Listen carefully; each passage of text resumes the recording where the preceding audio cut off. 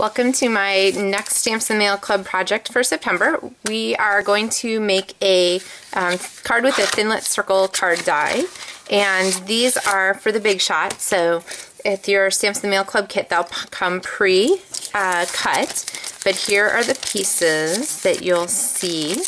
Um, the card frame here is cut from the card frame on the Thinlit. See how that works? And this is going to make a flip-flop card. So the first thing to do is go ahead and fold this in half so that your card base is folded.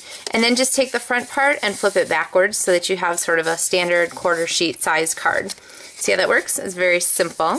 And then I'm going to go ahead and take my piece of Tangerine Tango cardstock.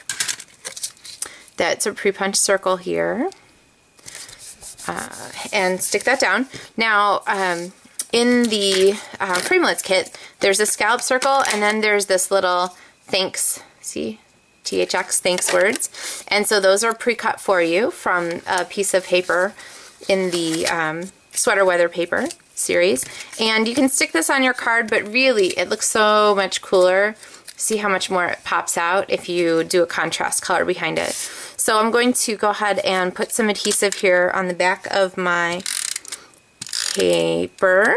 Um, and then I think the easiest way to get this lined up is to go ahead and stick it on this direction so that you can see that your um, Daffodil Delight cardstock isn't poking out all over the place on the back. Okay, and then before you stick this down, go ahead and grab a piece of the twine from the Thanksgiving Tablescape, Thankful Tablescape kit.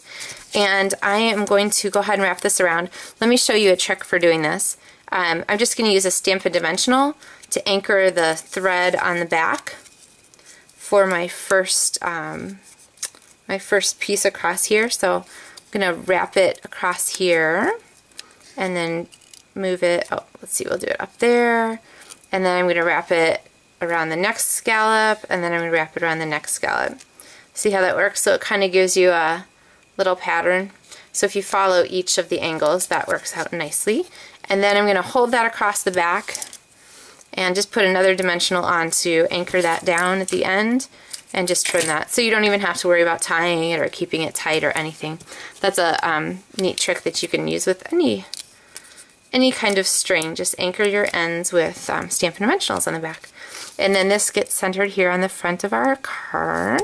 Okay, so we have our flip-flop card started. Now I think it needs some more decoration, so I've cut a short piece um, about two, just a little over two inches from the birch paper that comes with the um, Thankful Tablescape kit. And I'm going to use my um, green lid glue, also known as multi-purpose adhesive. Uh, but I love this liquid glue for um, bonding things down. It's so quick to add um, and it's strong like sticky strip but quicker to apply. So I'm going to layer this here on the back and you can make sure that piece doesn't overlap your circle here because you want it to stay um, out of the way from your functioning card.